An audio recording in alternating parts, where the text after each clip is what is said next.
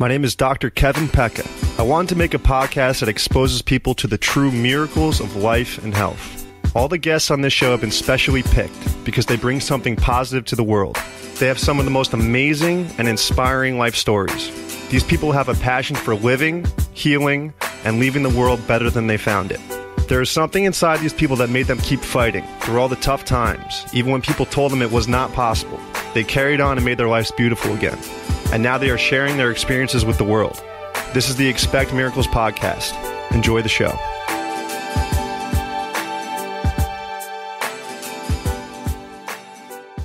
Today's episode is all about asking yourself, what are you capable of in this life? We each have a lot more in us than we know. Today on the Expect Miracles podcast, we have Evan Heinz.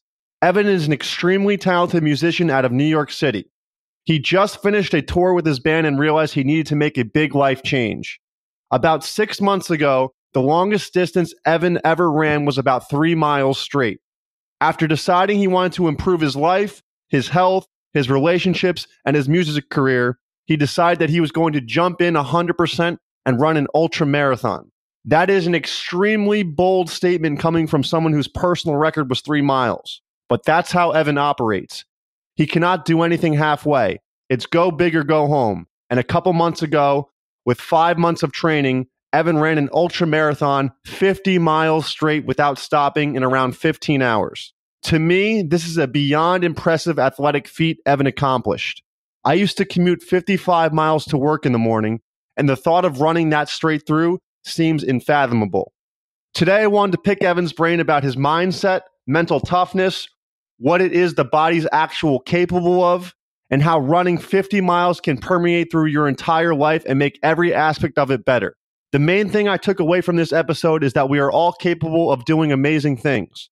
We just need to start somewhere, keep going, stay focused, stay driven, and our goals are ours for the taking. Please welcome Evan Heinz. Today on the Expect Miracles podcast, we have a very special guest, Evan Heinz. Evan just had a very, very impressive athletic adventure. He ran 50 miles in one shot from somebody that didn't think they could probably run five a year ago. I mean, I don't know many people that could do that. That's one of the most impressive things I've ever heard. 50 miles in one shot. I think you'd be surprised what people are capable of. The body is more capable than we know. Would you say that's right? Definitely true, man. Absolutely. So, Evan, before we jump into everything you're doing now, just give us a little background on yourself, where you're from, and uh, what you're into growing up. I'm from Garden City on Long Island, New York, and uh, grew up real into sports. Was a big baseball player, and uh, that was my life till I hit about 13 and discovered guitar, weed, and girls. The sex, drugs, rock and roll package. Yes. It's a real thing. So, was that the first time you picked up a guitar? I was about 10, and my dad, I think, always wanted to play the guitar. I always had one hanging around the house. He'd teach me like Smoke on the Water. That's like everybody's first Yeah. little riff. Oh, yeah. A couple Zeppelin tunes here and there. And then I think I took three lessons and surpassed him and then never looked back. Wow. so you just took to it right away. You're like, this is awesome. Yeah. I'm good at this. Yeah, and uh, but yeah, I mean, guitar and, and like baseball from when I was a little kid. I golfed a lot too. Like like sports was a big part of my life until like kind of high school. How did you not get roped into lacrosse out there? I did. I played it for two years, and uh, you know, it was very promising. Yeah. But I mean, that's the cream of the crop at Long Island. Everybody's playing out yeah. there. Oh yeah, I, I think I was too cool. You know, I like the strategy of baseball. there you go. What'd you play in baseball? I was a pitcher. Not do you Yeah. you look like a pitcher. you know, the, I could have done this running back then. and It might have helped my baseball career a little Yeah. bit more. But yeah, I, uh, I played until I was about 13, and then I had a, a torn labrum, my right shoulder actually, because I used I was I threw like very hard, and it was kind of like natural talent. It was before everyone started like lifting weights, and that's kind of right when I started fading out. Were you throwing any curves? No curves, just it's just hard, just heat. Yeah, man. Wow. Sweet chin music. Smoking it by people? Wow. Amazing. and then yeah kind of high school hit and music became I was music was always a passion of mine my uh so to take it far back my middle name is george and both of my grandfathers are george and both of them are the only real like musicians i know in the family other than Wow. me and my brother and uh what did they play? my father's father, George, was a violinist, just amateur, would play at home, and and my mother's father sang doo wop. Like in No way. I love doo wop. Yeah. Oh yeah. So uh, People just got together back then and just started humming. yeah, they go on the subways. He used to tell me that like they would have a deal with this one cop back in Ozone Park. Like they just like let him sing till like 5 p.m. and then the cop would watch him a little bit and then he'd be like, "All right, you guys got to get the hell out of here." No way. So yeah, so my mother's father, George, he would always sing and dance with me when I was a little kid, and my siblings and cousins and stuff, and just was like always in there. Music was always so present in my life. And then when I was like ten, and I was like into Led Zeppelin and shit like that, and it just everything clicked. I was like, this is what I'm all about forever. And then basically from like 13, you know, I went to music school in Los Angeles, Los Angeles College of Music in Pasadena. Shout out, How did you like that? Un- incredible experience. I did not know you went to uh, school out in California. I think that's probably why we met. Actually, I was out there working on tour, and Yeah, because you were you were cousin. touring around and you stopped at our place in Huntington Beach for a couple days, and then but but about six months before that, maybe a year before that, I was still in school out there. So my touring opportunities kind of crossed over with some connections from school, and so right out of high school, did you just start touring with the band? no, I went to college and then started playing gigs in LA, and Oh, so because I met you out there a couple years ago. yeah, I would say probably 2015 or 2016. So 2016. what were you doing before the music school out there? Another music school? No, eh, at, oh, I'm confused. So like, I met you what when you were 25, No, we probably met 24? 23, I think. Okay. Yeah, yeah. So what did you do after ago. high school from 18 to like 22? I went to Los Angeles College of Music. So you were graduated for a couple years after. Okay. Yeah, my school was just a year and a half. It was real quick. And then about 20 years old, I started, I came back to New York, started playing gigs, started touring around, playing as many bands as I possibly could. Did it feel right back then like you might have something and Yeah, I just always like knew that like I wanted to, to make a career like out of like something you love. That's what everyone tells you that like the dream is. And like I happened to find something that I knew like wait, I didn't want to go to college when I was a kid because I knew it wasn't going to help me get to where I really wanted to go. Although I was a bit wrong because college did help me a lot. damn, that's uh that's a powerful thing to know when you're that young. Yeah, yeah, it was weird because nobody really believed me either. It's like a hard thing to like accept when your parents work hard and then you want you to go to college. There's all this pressure, but I just wanted to play my guitar. Absolutely. Did uh was your brother the same way? Was he he was a musician you said as well? uh, yeah, he came into it probably even before I did. He's two years younger. I feel like he got a bass or something before I had anything. And uh, both of us was music and sports kind of always. He was a crazy tennis player. I think he was on the varsity team in like middle school. Like, and he, he's a drummer and like programs beats and stuff.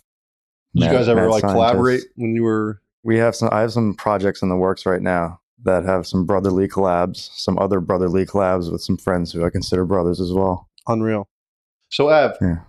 how was your health at this point? Were you into working out? The road life can be tough to stay healthy. You're always eating out and everything like that. So were you always into health and running or when did that start and what was it like being on tour with Yeah. So basically, like high school through college, I really didn't care about health. I didn't think about it twice. In college, I think I started running on a treadmill half a mile here and there. Started lifting weights, being like, oh, I think I probably should stop eating so much and uh, not doing any physical exercise. And then I'd say about like 22, I really got turned on at like a physical regimen and like really taking care of myself, eating better. Like it's really just a self love thing that tied it all together. Because before then, I was kind of just young, immature, searching around like like what is this life like all about? Like why is everything going on? You know, like and then you hit a point where you're like you kind of get a bit more comfortable with yourself and you realize that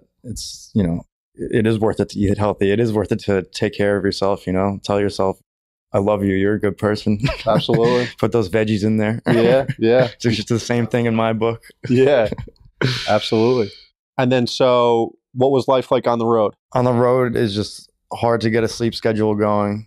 It's hard to eat consistently. Although I was in this band, The Shacks. Shout out to Max Shrager. Always was on the Yelp and would basically find any like good coffee shop in any town. yes And every state we were in, and which is almost like 50, probably like 46 states. But other than like breakfast, like venues in America don't, just, I don't know, some lower tier venues, I would say, like, Yeah. you know, like once you get up to theaters and stuff like that, they take care of their artists. But you know, if you're like a struggling band, up and coming band, like they usually give you some like beer tickets, maybe a 12 pack, you know, but you're on your own for food. And uh, a lot of times it's just like you're tired and you just want something that's going to fill you up and make you feel good. So you eat, you know, you eat whatever you see that's terrible for you. and it's a vicious cycle. Yeah, pretty much, pretty much, man. So I guess you weren't feeling all that bad. I mean, because you were loving what you did and you were playing music every night and you just weren't eating healthy. How were you feeling at that point? I was lying to myself. I was telling myself I was feeling like probably an eight or nine out of 10, and I was really feeling like a five out of 10, telling myself that it was okay. So uh, I did mean like I kind of was a slow climb from like 18 to like I'm 26 now. Like I've started about 18, kind of like running a little bit, push ups here and there, going to the gym, figuring out how to build muscle. And then it wasn't until like 22 when I was like, okay, now I need to do something, which is when most of the tour, like heavy touring I did happened. So I was always trying to like get squats in at the gas station, you know, pu- Yes. push ups in the hotel room. Like I had like a circuit of like, you know, um, burpees, push ups, squats, lunges, anything you could do, planks, just anything in a hotel room. But even still, it's just so hard to stay consistent in that lifestyle. So then finally got off of the road, and that's been a year and a half now. And back in February, which leads to the running, back in February, I saw a podcast with a guy called David Goggins, who is just a beast. Everyone should just go check him out because he's inspiring. And it applies to anybody's life, any aspect in life. I don't care what you're doing. You could definitely take something from anything that guy says because he is truly just an absolute beast. Yeah, he just tells his story as he sees it. His audiobook, he's reading it with another person, and it, like it's no BS. Like it's if you listen to his story and then look at yourself in the mirror and tell talk to yourself about your life, you can't. I mean, you could continue to lie to yourself, but that's just going to lead you nowhere and going to lead you down. And uh, we're all about getting up over here, you know, Absolutely. getting better. So, Ev, how do you come down to the conclusion one day? I'm going to run 50 miles because yeah, you could have you could have just ran two or three and you know probably stayed pretty healthy. What was it that you were like? I'm putting all the cards on the table and just absolutely going for this. so I'm a pretty extreme person. I like to like dive into to stuff when I, when I get into it. And my friend Andrew Lacoche, who I work with, make a lot of music, got some projects up and coming. Nothing we can name yet, but uh, he saw the podcast as well. And this guy David Goggins, I think he ended up running 200 miles in one shot. Holds holds the world record for most pull ups consecutively, which is like 4,000 plus, I think. And he's the example of what human beings are capable of doing. Not everyone's going to do that. I don't need to run 200 miles. Maybe one day I will. Who, who the hell knows? But yeah, we, this guy just like proved that I was lying to myself about so many things. And I went from running like one mile to three miles. And by the time, and like each week I was going up five, eight. By the time I hit about eight miles and we were into this podcast and talking about it, we were like, we should do an ultra. And like I, and he was like, what, my friend Andrew was like, why don't we do like a marathon? I was like, no way. Like, let's just go. Let's, Let's just go for it. Yeah, it just turned me on so much to like the idea of going from never running before April that like six months ago.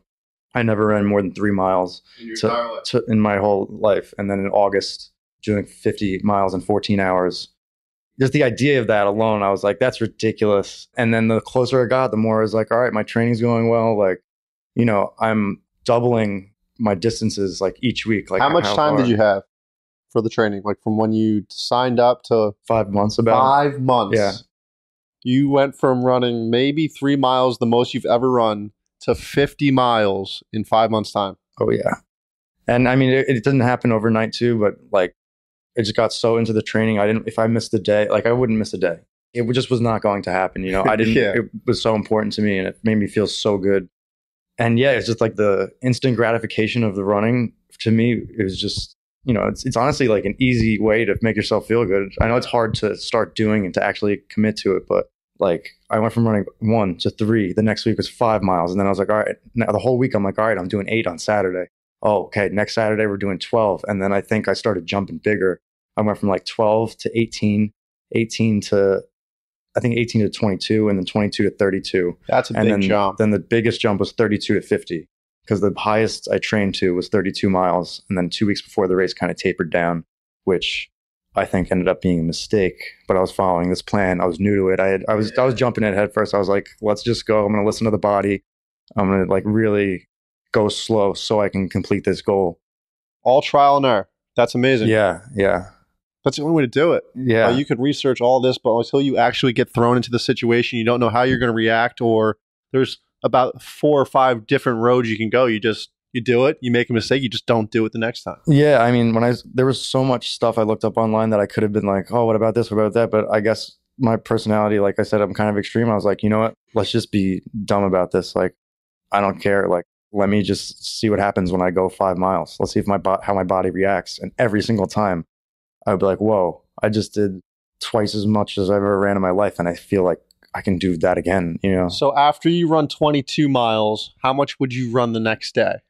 either like two miles or nothing. Take Yeah, I was take gonna take the next the next yeah. It was a it was like a seven day training program where two of the days of the week I wouldn't run at all, and and one of the days was like strength training. Yeah, And also, what I'm amazed about is I don't actually don't know the answer to this, but were you under any manual therapy or care to keep your body in check because you're putting a lot of miles on your body, and I'm sure you were feeling some aches and pains from just running every day. yeah. Um, it was weird. I was under.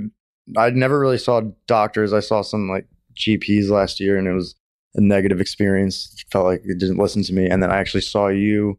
I'm trying to think of when I saw you. The first time you adjusted me was during my training. During, I saw I saw you one time though. Yeah, you saw me one time. So like one time in five, like that's just so impressive. Like, so no acupuncture, no chiropractic, really, no massages, no, and you were feeling pretty good though. I was feeling the best I was feeling in my life. In fact, when I first came to see you, I remember you were like, "All right," so you're like, "What's hurting you?" And I was like, "I like literally ran four miles in the woods right next to your office." And I was like, I actually feel amazing right now. like, you know, like, Runner's like, high, yeah. yeah. Yeah. I mean, for sure that, but just in general, like in my life at that time, like because I was on in this training and because I was uh, doing something so new and proving to myself how like literally anything is possible. Like, and it's so many of my friends now are running. Like, I have a friend who just hit eight and a half miles like two days ago, and she never did more than a mile. I don't think until a couple months ago. Like, That's one of the most, the more amazing things you told me a couple weeks ago. You said not only were you feeling great and you were breaking through all these barriers in your own life, but it seemed to you, from your point of view, everybody's life around you was getting better and healthier and working through their own stuff. Yeah, absolutely. I mean, it's the law of attraction too. I think you know, I really wanted to change my life, and yeah, I just wanted. It was infectious. Like I loved seeing my friends being like, "Oh, what you did? What?" And they're like, "If he could do that, I can do that." Like I love that expression on people's faces Yeah. when they're like looking at me like all messed up. You know, I got long hair and the beard, like smoking something, and I'm I'm like I can run 50 miles. You know what? You know you can too, and like that's the craziest thing because ever nobody expects that they can do that. Nobody thinks they could do that. Like and like if you think about it, just don't stop. yeah. Like you go walk 50 miles. Like everybody could walk 50 miles in a day if they really had to. Just Yeah. don't stop. And then it's just you know revving that en- engine a little bit more and get breaking a sweat and seeing what else you could do because it does. It's an, very addicting. So not only were you breaking physical barriers every day, were you breaking down any emotional barriers just from like a, a psychological state? Yeah, so it's funny. We've been talking about the physical part the whole time, and that's like not even the reason I did it. Or, I, yeah, it's just a not really good byproduct. The emotional issues and like mental issues that I've dealt with, like or not dealt with in my life, I feel like totally led me into doing this. And and when you spend so much time running out there, um, I did the whole 50 miles with no headphones in. No headphones. Yeah, I didn't. I just That's had, very impressive. I just had a watch and a bottle of water, but I did that because, well, because David Goggins said so, but also because I, it's just like it's a more like focused experience, and you have to like really be in the moment. But yeah, running without the headphones to me just was like a more natural experience, and and the whole point of doing it for me was to, as Goggins says, callous the mind, and it's really just like preparing yourself for life. Like you're trying to get stronger and not trying, you are getting stronger. Every step you take further than you've been before is you like literally stronger, stronger, stronger, stronger, stronger. And it's the mental and emotional aspect of it is insane because you could, I've had days where I'm down and then you go run and you're up and you're like you can deal with the down. You understand that it's there's a balance in life and th- everybody's got shit to deal with and you know it really the mental strength I think is the most important and valuable thing that anybody could get out of out of physical activity. Definitely. I missed the part where he said uh, no headphones because I understand why he's talking about that because when I go for a run now, I'm like, all right, I need to get my phone, my headphones. I need to get, I need to turn on the audiobook. And what if there's if, if you don't have access to that, you're like, oh, I'm not going to go run. Yeah, or So or that's like. I can't do it as long. Like all, yeah, your uh your mind starts telling you you know you know yourself the best, so your mind starts telling you all of this stuff. Like you know what to say to yourself to get yourself to stop. And when you have no headphones, it's easier to hear. You, you only hear what's going on in your mind. But to be fair, the first two and a half months of my training, I listened to the David Goggins audiobook. So uh, he got you Can't. Hurt Me Yeah, every single time I ran. You know, that's really what got me started. That helped me like run further, you know, because I'm hearing literally this guy's life story, like, which is so much more difficult than mine. I'm like, you know, and he says in his book too, like, you know, it doesn't matter if you had a hard life or maybe your life wasn't hard enough and you need to put yourself through some, not that everyone needs to put themselves through suffering, but this is a controlled suffering that's really good for you. there's so much growth that comes out of adversity. And if you don't have any that much your entire life, like you could still be a good person and all that, but like it's interesting to see people that have been through a lot and uh, gotten through it when they're young, and then you see adults that haven't really been through anything until like 40 or 50 and it's it's it's a huge panic. And it's uh it's good to face that adversity when you're young. You get ready and your mind gets calloused like you were saying before. Yeah, I mean it's it's going to happen. I feel like one way or another. You know, life life has a way of balancing itself out. I've always been obsessed with the yin and yang symbol since karate and when in childhood, and like it just played out so many times in life in front of me, and and like yeah, like it's gonna suck. So you might as well do some stuff that sucks that you control that makes you stronger. that it is like good for you. Also, like it's a direct reward. It's so quick, like it's instant, and it's also long term. Like can't like recommend it enough. That's yeah. I mean, or even not even just running like if you love swimming or, or biking like just push yourself whatever it is that you like to do like that gets your heart pumping like take it to the next level like if you if doing like 50 miles on the bike do 70 miles on the bike because you can do it absolutely. I mean, life is pretty remarkable in the sense that it's extremely fair because it's unfair for everybody. yeah Like at some point, it's going to hit you hard. I don't care if you've had a good life, if you've had a lot of money, if you have no money. At some point, life is going to hit you. Happens to everybody. oh yeah man and uh yeah i'm just very very lucky a shout out mom dad brother brian sister sarah my grandparents everyone my friends who supported me through this process my friend victor who came up for the race drove the car Awesome. made the made the protein drinks Little supply man on the yeah. You Yeah, need to have one yeah. of those, right? and uh, and my buddy Andrew, who uh, we ran the race together. Which I might as well throw in this little story about the race. So he was always a faster paced runner than me. He's a little bit leaner, had that better time, you know. But Before you start the story, can I stop you? I have one question for you.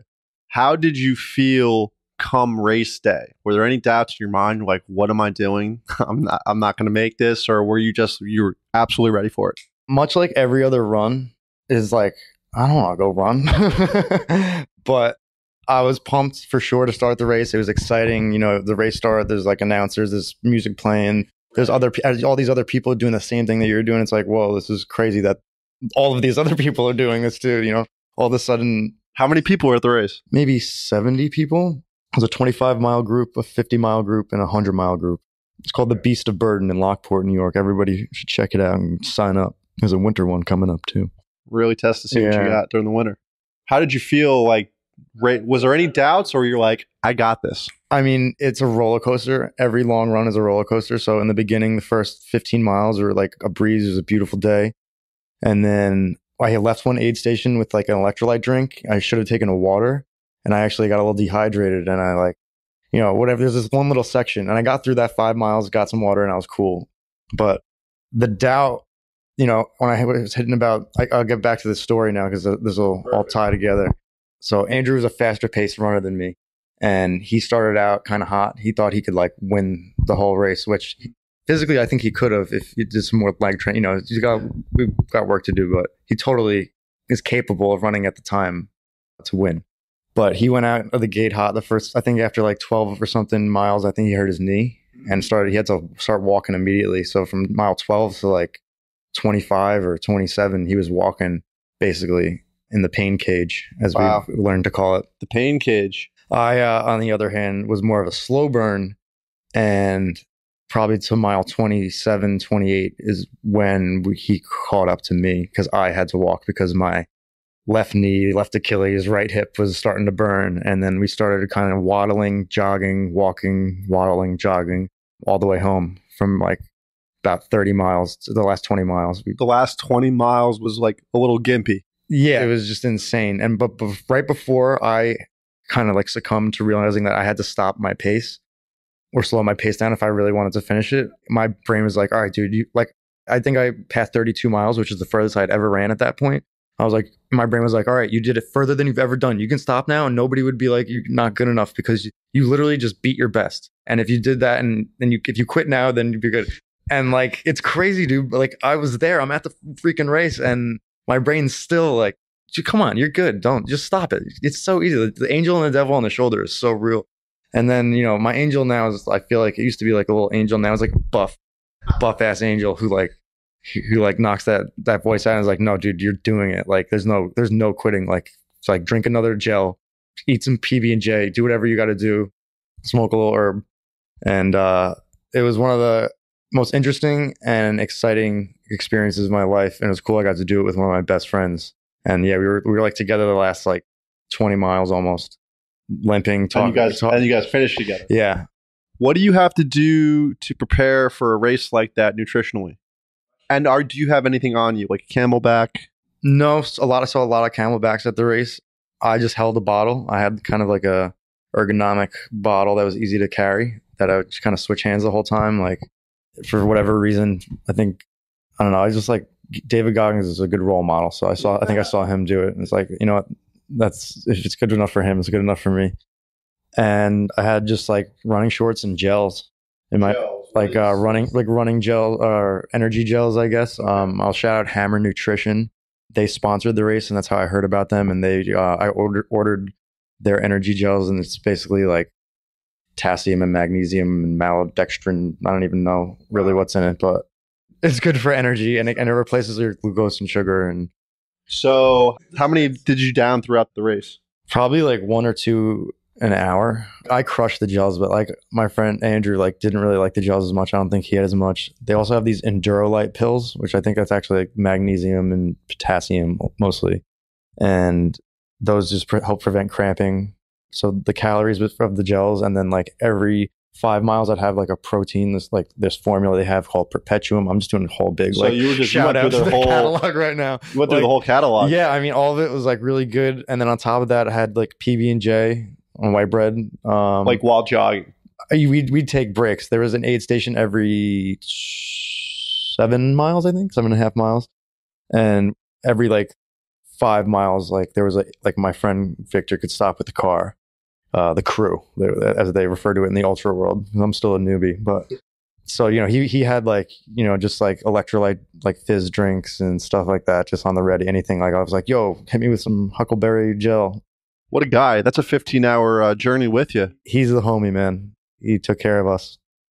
But yeah, so during the race, it was actually at mile 38, they had pizza for us. I had like four pieces of cold pizza, and it was the best pizza I'd ever eaten in my life. Is it weird running like that, stopping, and then putting an entire pizza? No, and yeah, and then running. No, again? because it's you're not weird running with like a full stomach like that.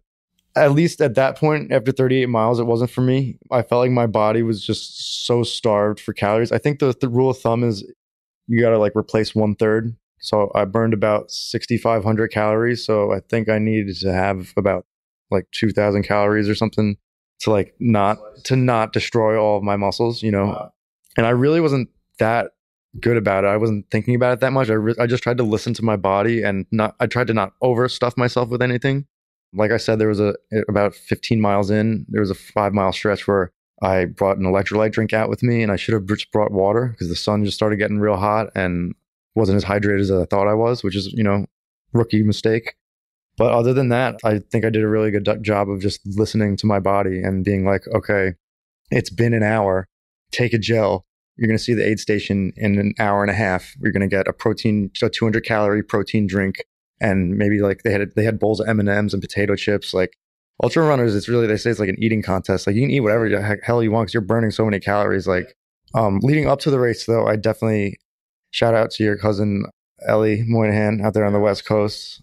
What's in Ellie's belly? Also, another podcast guest. Shout out Ellie Moynihan. Yeah, she is amazing. She hooked me up with so many recipes, like healthy, like meal prep recipes that for the last like three months, I think, of my training helped me like eat regularly and like it's really like the training is the biggest thing because race day is like all everything's it doesn't matter. You just like how am I feeling and what do I want? You like you, you're staring at all this food and you're like I'm putting that in my body right now. We're going like and like ultra runners are crazy. Like I saw a guy take a shit like on the side of the like he was I was pacing with him for probably like an hour and then he's just like stopped, pulled his pants down in like two seconds, like before I even caught up and passed him. And I was like passing him, like this guy is, you know, does, is just nonchalant.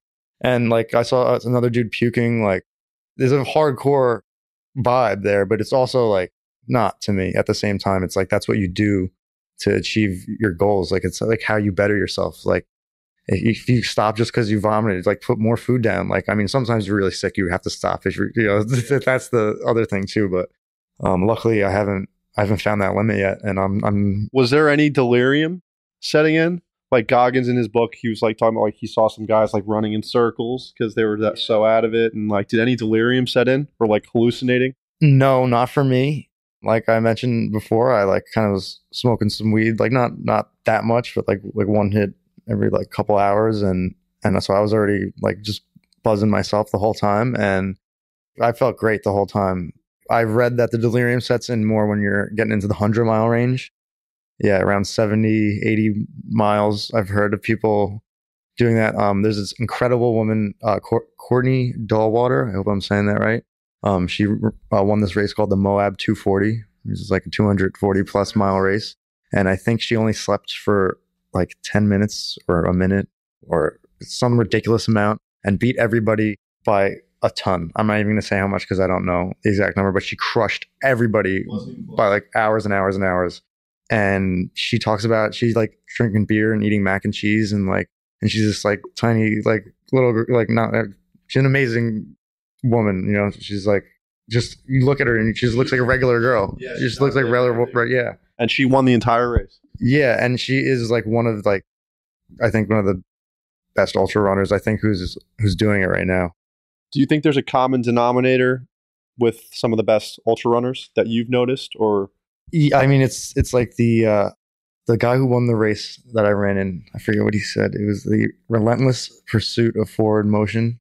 I feel like it was more poetic than that, but you know, it's just like really there's never an end to showing what you're capable of because your life, you know, you're only here for so long and you're not going to reach, you're not going to retire. At, when one day your body's going to give out and you can't run 50 miles anymore. But there was a 75 year old man who did 50 miles in our group. Yeah. seventy years old? Yeah. So I think the thing that like remains true amongst all, anybody who's in ultra running, not even the best ones, I think anyone who decides to do it is that it's just a relentless pursuit of like bettering yourself and like this is one experience that just makes you feel so alive and so in the moment. Like people are always talking about being in the moment and you know meditating and trying to find they'll do people do anything to like forget the past and the future for a moment, you know. And the last I, it's, I said it 14 hours it took for the 50 miles. The last like four hours, five hours was the most in the moment, like moments of my life. The last 10 minutes of the race, coming up on the finish line, like knowing that I got, I did it, knowing that no, like I'm going to crawl at this point. Like Yeah. it- anything happens. I actually stepped in a pothole.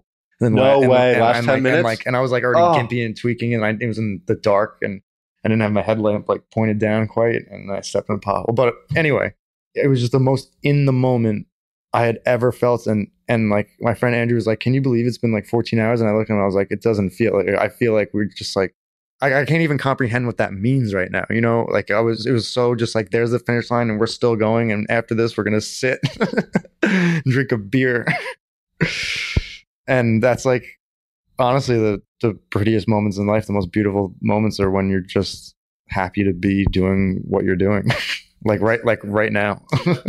And what was that exact feeling? Crossing the line, it's done, it's over. You just ran 50 miles in one shot in the time limit you wanted to.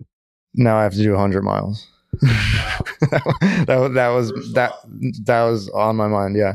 So before I ran the, the day of, like it was in Lockport near Niagara Falls. We went to the falls, had like a beautiful weekend, and the whole time and the training too. I'm like, I'm just gonna run this 50 miles. Like I'm not a runner. Like this is just some crazy thing I'm gonna do. And then the weekend, I'm like, all right, this is coming up. I was kind of getting nervous. I was like, and then when we started running the race, I was like, all right, this is the only 50 mile race. I still was telling myself, like, I was actively thinking about this. And then somewhere, I think around like probably mile 40, 45, maybe, I was like, I think I really like this. I think I really like, I think I underprepared so much. I could have done so much more to run the race better. But damn, I did it. yeah, at that point I hadn't done it. And then when I did do it, right when I crossed the finish line, I was like, there's definitely more for me to do. I was so in so much pain. and hurt to walk. The next day was brutal. But as I crossed the finish line, I still had energy, man. I still like probably like a real clear energy. Yeah, too. it's it's uh, it's like I almost like knew it that was going to happen too because that's what happens after you run further than you've ever run before. You realize, oh, like you know, I still have energy to walk home and open the fridge and make myself food and turn the TV on and you know brush my teeth and like you know you realize it's like oh like what else am I capable of? How much have I been lying to myself about what I'm capable of doing? You know what what am I saying is okay that I'm really not okay with? And then it leads you to do crazy shit like run 50 miles. Now, how did that affect other areas of your life? Because you just did this extreme, amazing accomplishment that clearly dealt with running and did it transcend to any other areas of your life after that i think to every other aspect of my life it's like permeated like unbelievably it's like it's the mental work you do through it like the strength that you build just gives you gave me so much confidence like in everything else and and goggins has the accountability mirror and you write post-its like what is what are you all about? Like what are you doing today to like better yourself to achieve your goals? Like how does that work the post-its? you basically like throughout the book there's like 10 challenges and he basically just forces i mean he doesn't force you but you, you just have to like ask yourself like what are you happy about about your life? What are you sad like what are you not okay with? Like so you, you write know, down it all. Happy yeah. not okay yeah yeah like what are what are what are your goals how are you going to achieve those goals like long term short term like and that's powerful yeah. I listened to the book and I, like, I was like, oh, it's a challenge. I didn't do it. Yeah. I mean, I listened to the book about five times, and the first four times I didn't do it. In fact, I didn't do it till after I, ran the 50 miles because it was a lot to deal with. it was a lot of emotional issues I didn't want to deal with and t- think about. It was a lot of like personal issues I didn't want to deal with. I didn't want to admit to myself, which is running is actually a good escape for that also because you work and you make your body starts looking better. So you're not necessarily dealing with the actual issue. Yeah, which is until ha- you decide to actually deal with yeah, it. which and exactly. Then you make a conscious decision to be like, okay, I'm going to go run and talk to myself about how I'm dealing with this situation or this relationship. And that's probably not easy either. no, it's not. And it's something like I still struggle with like to this day. It's not like it's interesting that you're going for a run, exercising and thinking out. Yeah, you gotta get you gotta get two birds stoned at the same time. All right, that's that's how they say it. But yeah, I mean, good mentor of mine who uh, I feel like I'm I'm a lot of like always used to say like people call me lazy, but I'm not lazy. I'm efficient. Yeah. you know, like like I don't want to go to a psychiatrist and I don't want to like go to a trainer. So let me go kick my own ass on the track and see what I'm made of and see see what my brain's made of too. You know, like and yeah, that's my that's my psychiatrist's office. You know, and and some good friends too. Gotta, you got to have some good friends to talk to. Absolutely. Just let it go. Yeah. so the accountability mirror really uh, helped you sift sift through some stuff there. Yeah, I mean it's something I, have actually only recently started doing. The race was just over a month ago, and I listening to the Goggins book again post race, doing a an autopsy, if you will, I think as he calls it. And you know that's one of the blaring things that I was lying to myself about, even through this whole process. Like I just ignored his call to action and like I said, I just I wanted to just do one thing at a time. I felt it was pretty overwhelming to do it all, and it's probably a lot like the running where you post one post and you're like, oh, that felt pretty good, and then you just keep putting them up until it actually. Yeah, I mean, permeates. It's so much easier too because like it's less stressful when you write stuff down and like have it out there, and like you don't need to remember to do the things that you know you want to do. Which I know sounds like crazy, but like just having to look at it instead of like literally like it's the difference between carrying it around with you all day and not doing it because there's some days where like I'm not doing certain goals because other things have to get done. And I look at it every day, but when I leave the house, that's it. Like I'm not thinking about it all day because I know it's there back on the mirror, and I know tomorrow I'm going to tackle it, or tonight I'm going to tackle it. You know. And before I, it was just like everything was kind of jumbled in my brain. Like, oh, I got to do this, I got to do that. I don't know when I'm going to do this. I don't know when I'm going to do that. Now it's like, all right, I, I'm like using my 24 hours a lot more efficiently, which no, another great guy who's who's really on that game, Jesse Itzler, who had Goggins come live with him and wrote a book called Living with the Seal. And he, he's like part owner in the Hawks, sold Zico water. Zico was his company, Zico coconut water. Marquis Jet was his company. He's like beast, Long Island guy. And uh, I think I, I walked at his Instagram post just before, and he, he like doles out his day. It's like 6:30 to like 11 p.m. and it's like family time, running.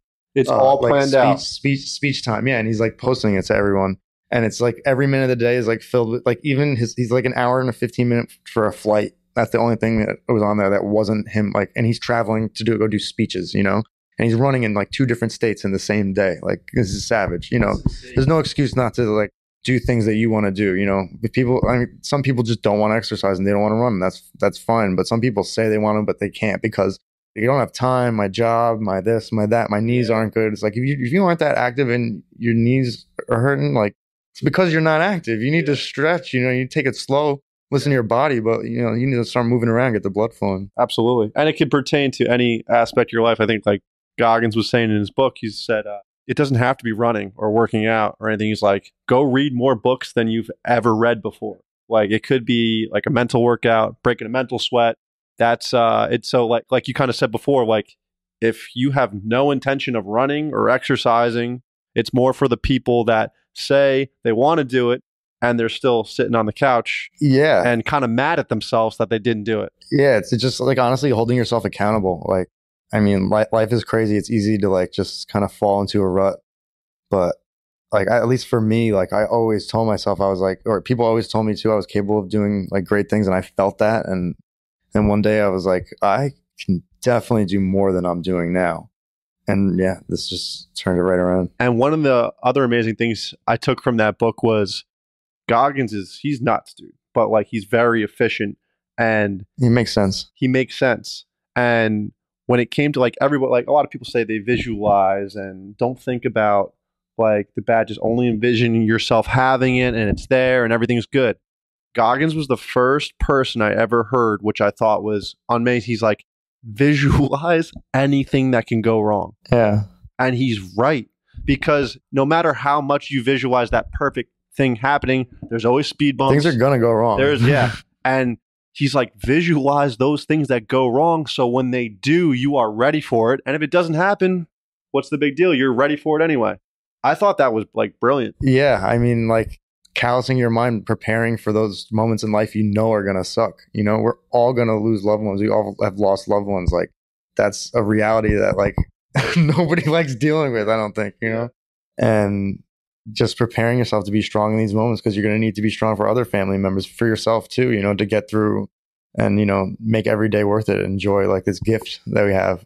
You know, and and also like you were saying before about applying this to other like facets of your life like one of uh, Goggins' like hardest things that for him was like learning in school. Like he used to always like cheat, and when he got to taking military tests, he could no longer cheat because everyone next to him had different tests, and he had to actually start studying. And he had a real problem with that. And, and, like Yeah, he was he- dyslexic. Yeah, Third grade reading level at like a senior in high school. yeah. I mean, he he literally like could not read when he was like a grown man, and then he realized I think it was just like memory. He had to read it like things over and over and over and over again. And he like just like he applied like his crazy mindset to running, he did it with studying too. And eventually, I think the test was called the ASVAB, like the Navy qual- qualifying test or something. A written test. Yeah, and I forget how many times he took it, but multiple, multiple times, and he failed and failed and failed. And the, you can hear the joy in his book, in his voice, when he tells, when even the other guy talks about telling when he finally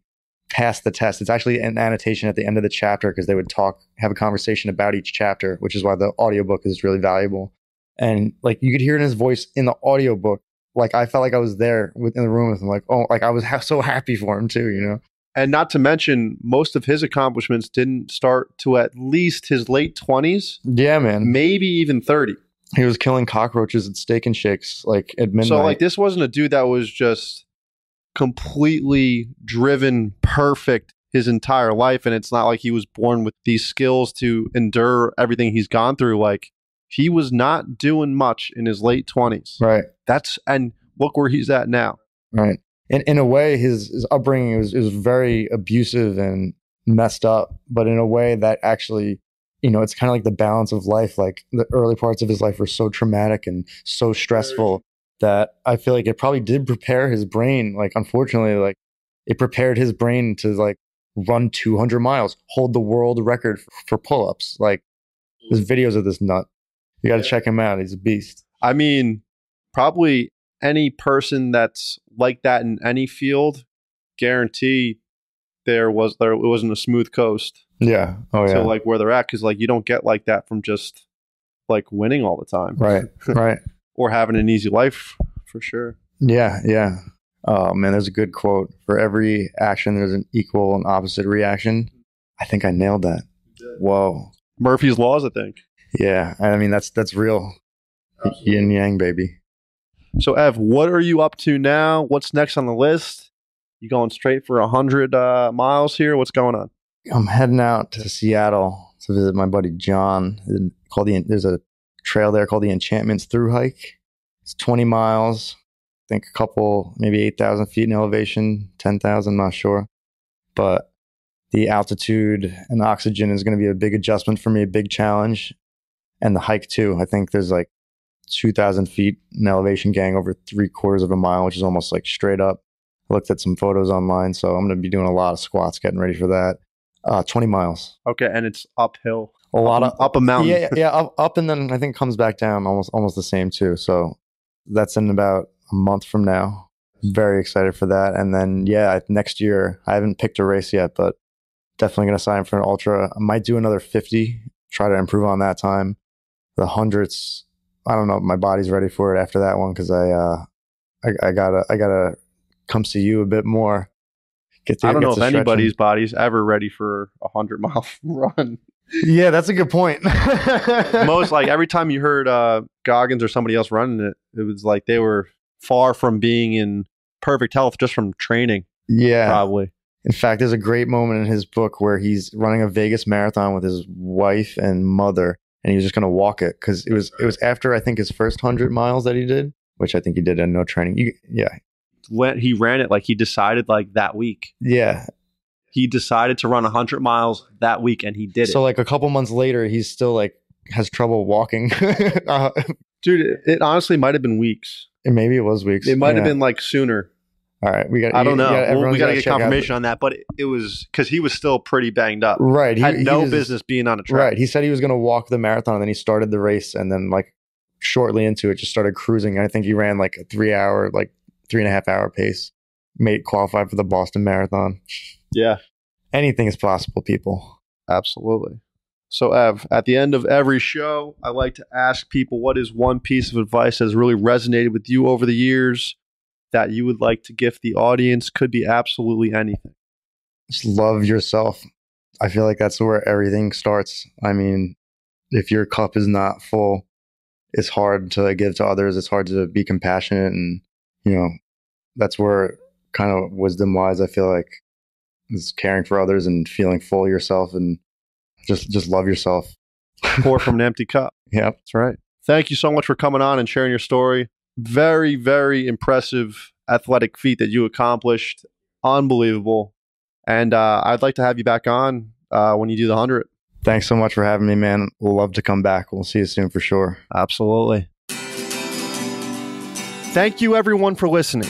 If you enjoy the podcast, subscribe, give us five stars, and leave a review. It really helps boost the podcast and spread the good word.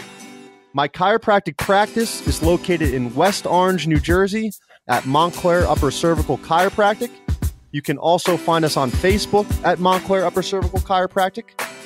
All of my information is on my website at drkevinpecca.com, drkevinpecca.com. You can subscribe to my YouTube channel at Dr. Kevin for for podcast episodes, patient testimonials, and educational videos. I have daily affirmations and inspirational quotes on Instagram at Easel Affirmations, E A S E L Affirmations. And if you have any questions, feel free to email me at drkevinpecca at gmail.com. drkevinpecca at gmail.com. Thank you, everyone, and have a great day. Cheers.